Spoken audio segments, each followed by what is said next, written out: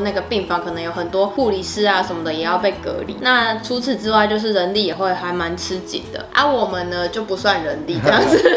我们是路障。我们是路障。嗨，大家好，我是王如 Elaine。嗨，大家好，我是伟杰。那今天呢，又来到聊一聊。然后我们今天要跟大家分享的是最近很夯的话题，就是疫情。Yes，那就是因为我们两个现在都算是在医院实习，所以我们自己在医院有看到很多一些跟以前很不一样的情况，所以想要跟大家分享一下。这样大家知道说，现在每天开的记者会啊，数字都是几万几万的在呈现，然后甚至可能到最近是不是快破九万。就是可能快十万了吧，这样，嗯所以其实人数是越来越多，所以说要达到我们之前希望的清零，就是说都零确诊，已经不太可能了。那在这样子就是必须跟病毒共存的环境下，我觉得现在有点像是还在过渡期吧，就是我们还没有办法完全跟它当做是一般感冒这样共存就。是渐渐流感化，渐渐共存，要等到大家都有群体免疫嘛。对，嗯，就是还没有到这么容易这样，所以我们就先来分享一下我们这一段时间看到过渡期看到的东西。那你在医院有遇到什么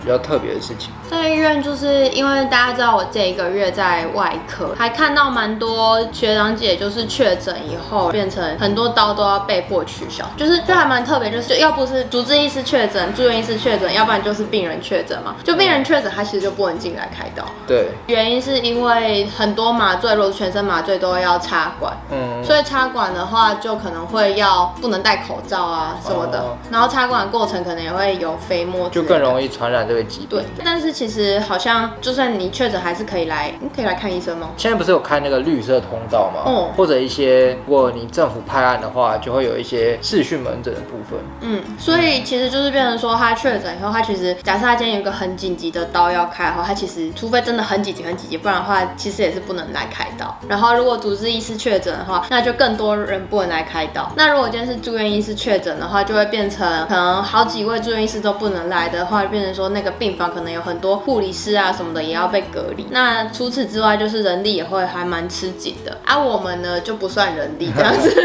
我们是路障，我们是路障。对对对，所以我们就算没怎样，其实也不能帮到什么忙。其实会发生很多问题啊，就是就是疾病很多，病毒细菌很多，但是因为我们因为这个病这个疾病，然后就去排挤到其他医疗的资源嘛，或是患者的权益这样子。因为就就比如像我现在是在外科，然后是在胸腔外科的话，像胸腔外科就可能开食道癌或是肺癌。其实尤其肺癌现在还是台湾死亡率第一的癌症。对啊，对啊，那这样就变成说，虽然这些人可能不会死于病毒，但他可能会死于癌症。嗯，就是他如果不赶快处理的话，他的预后可能也不会到很好。这样。对啊，而且肺癌的患者也算，如果得这个疾病会比较严重的那一群人嘛，对啊因为他们的肺本来就，开始有点病变，对啊，对啊，或者说他本身就有其他的疾病，导致他更容易有肺癌。这样说不定这，哎、这应该也是要慢慢流感化的其中一个原因吧。对，就是我们还是要想办法让这些病人有办法回到医院。我觉得我还有看到，像是说有一些可能慢性病在处理的一些病人啊，他们可能就变成说有好几个月都不能回医院，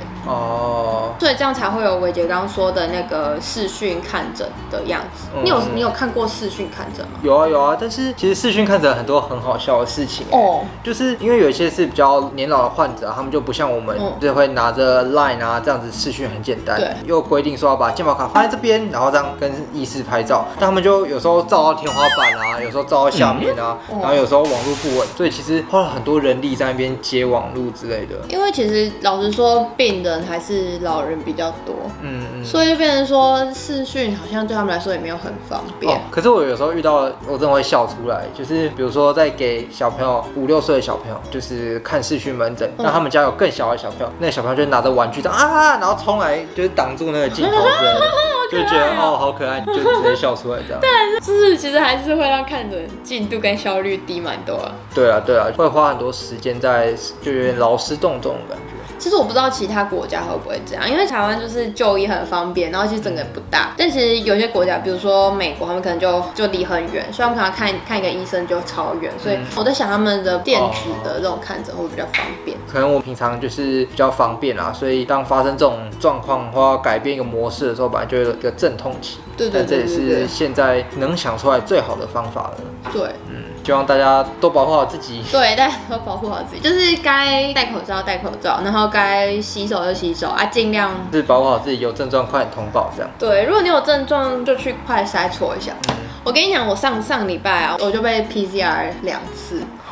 哇，所以你就一直被搓鼻子这对？啊，我我就刚好我在的那个那时候在整形外科，然后就刚好有病人确诊，然后就有一群同学跟主治医师都被抓去隔离的。那时候我就想，我就刚好又有感冒症状，然后就很担心说到底是不是确诊还是什么的。嗯，所以我就赶快去跟我们通报机制，就是你每天都会叫大家填你有没有什么症状啊，你发烧几度的那个表单，就是调查大家的状况。然后我就去填，我开始有咳嗽什么的，然后我就被助教抓去搓鼻子，这还蛮痛的。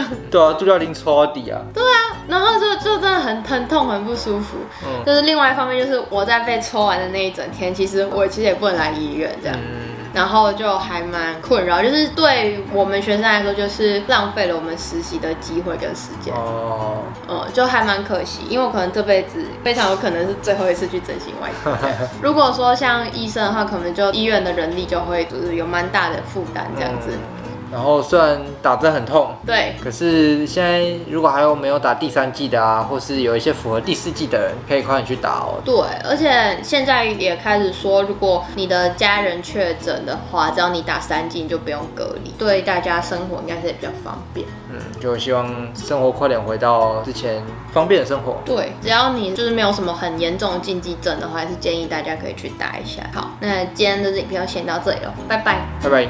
就不要跟朋友去吃饭这样子。真的，我们都 IG 常发个朋友圈。